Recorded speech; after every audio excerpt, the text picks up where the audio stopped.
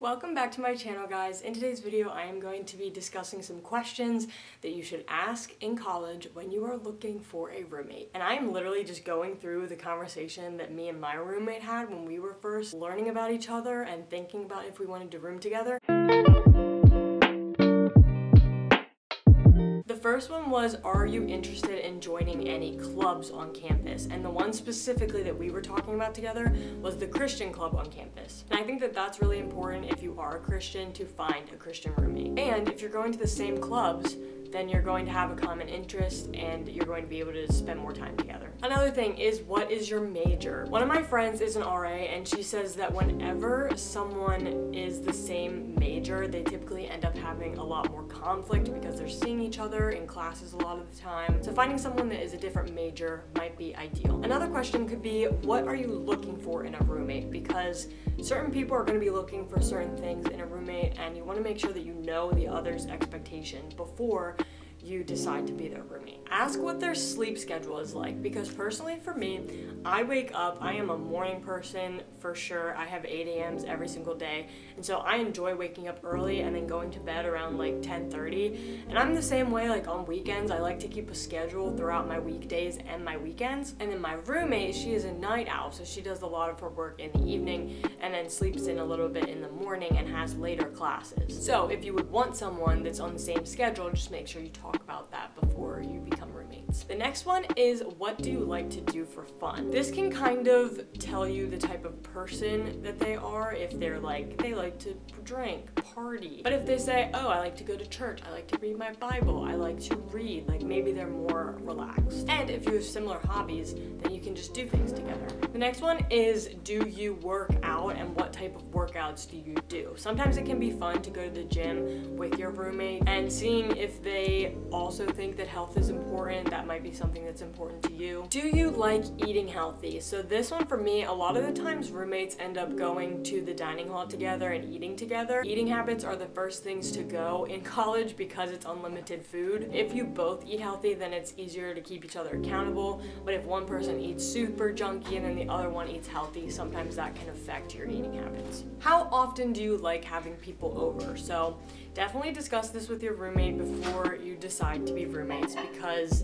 if they like to have people over the room all the time but you don't like having people over in the room or vice versa, if you want people over and they don't want you to have people over, then that can be a conversation that could create conflict. Do you smoke or drink? I think this one is really important because obviously if you are not a drinker, maybe don't room with someone that drinks. Do you like sleeping in pitch black or with a TV or light on? So personally for me, I would not be able to sleep if there was like a TV or a bunch of lights on. I like sleeping in the pitch black and so that is very, very helpful. It helps me so that my sleeping is regular and then I'm not waking up in the middle of the night. Do you use a fan when you sleep? Some people don't like any noise when they're sleeping and some people do. I would ask what temperature they like to keep the room at because that's also important. If there's someone that likes it at like 50 degrees and then you like it in the 70s, that obviously could be conflicting. The next one is do you like taking naps. So personally for me, I do not take naps and my roommate doesn't really either, but if she did take naps all the time,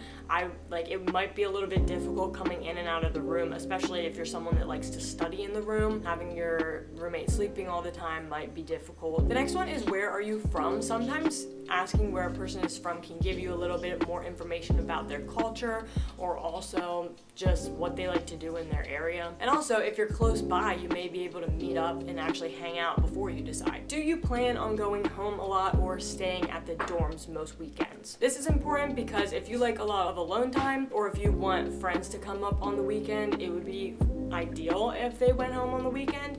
But if you're someone that really wants your roommate to enjoy the weekends with you, then maybe you would want a roommate that is at school during the weekend. The next question is, do you like to study in your room or in the library? And so this is important because if you both like to study in the room, then that could be conflicting, or it could also be a distraction. So if you guys are both studying in the room, you could potentially be causing each other to distract each other. Next one is do you have any pet peeves? This is important to ask because if you do something regularly that is one of the other person's pet peeves, it might not be a good rooming situation. The next question is, are they a good student and did they get good grades when they were in high school? This is important just to ask to see what their study habits are like and maybe if you're a really good studier, it would be easier for you guys to study together, but if not, then maybe that won't be a smart idea. The next one is, are you more of a homebody or do you like to go out a lot? This is important to know if they'll be in the room a lot on weekends or if they like to go out with their friends a lot. It's also important to ask if they have any siblings or if they've ever shared a room with anyone before to see if they're comfortable with sharing a room with someone. Personally, I was an only child, so I never had to share a room with anyone,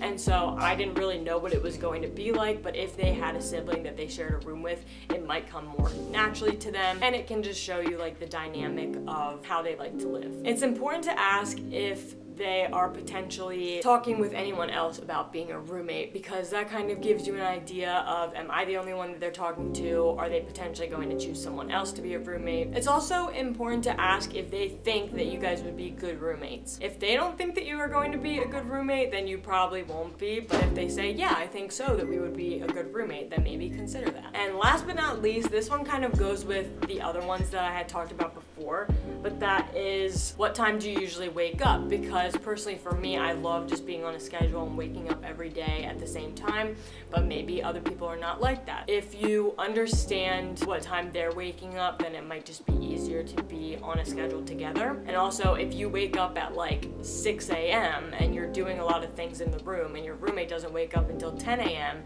and they're like a light sleeper and are easily woken up, then maybe that's not a good pair. And that is all that I have for you guys. I hope this is helpful and I hope that you guys are doing well in your roommate searches. Thank you so much for watching and I'll see you in my next video.